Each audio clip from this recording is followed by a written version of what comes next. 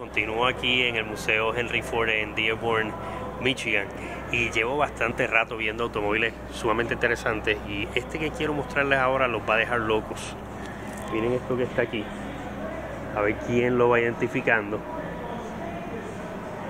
Se los dejo ahí un momentito para que lo vean bien, a ver quién lo identifica de inmediato. Y les voy a decir ya. My friends, esto es un Bugatti Royal. Esto es un Bugatti de los genuinos. Esto es un Bugatti de 1931.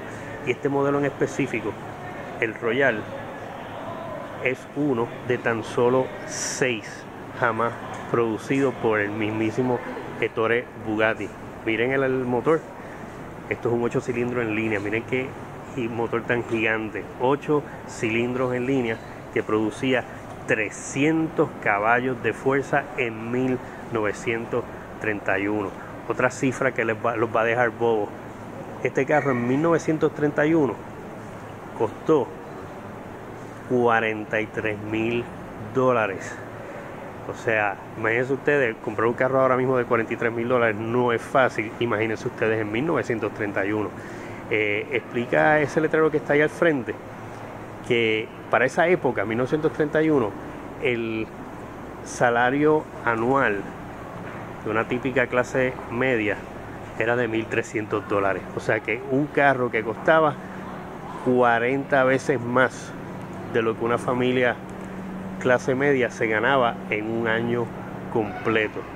Seis solamente se hicieron. O sea, Torre Bugatti lo que quiso hacer con este automóvil, él quería hacer un carro que fuera muchísimo más lujoso, muchísimo más grande, muchísimo más impresionante que lo más lujoso que había en la época, que eran los Rolls Royce y los Duesenbergs.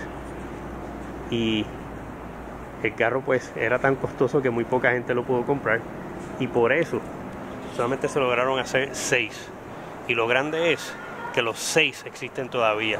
De hecho, hay un séptimo modelo eh, de este carro, pues se hicieron oficialmente por Bugatti, se hicieron seis.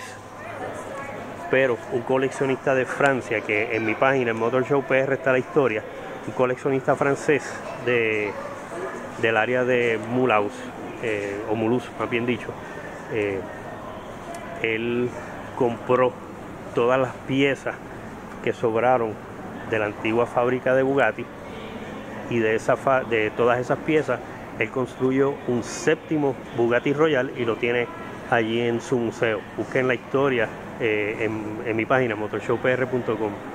Y así que ahí lo tienen.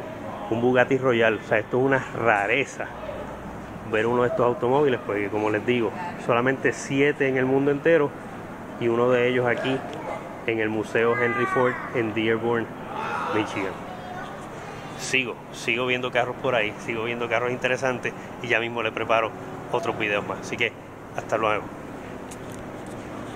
Miren ese cord, bellísimo.